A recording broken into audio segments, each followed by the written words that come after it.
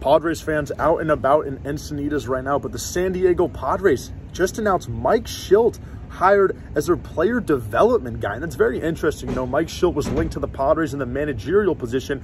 We all know notoriously last year, he led the Cardinals on that insane 17 game win streak. They swept the Padres.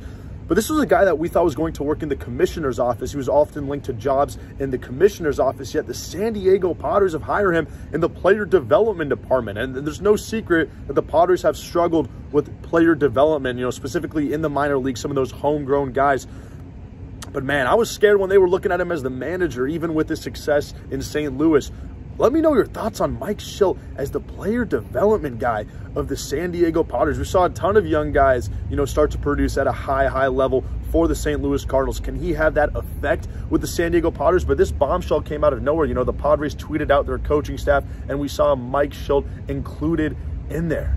What are your thoughts on that? Is he going to make a big impact on this baseball club? Listen, if this season doesn't go well, it's not because of the coaching staff. The coaching staff is absolutely loaded, led by Bob Melvin, Ruben Niebla, Michael Brdar, Mike Shildt, man. That's a big-time name, big-time presence, hopefully, for the San Diego Padres. Hit that like button for more exclusive year-round San Diego Padres content. We'll discuss this further in depth. Wow.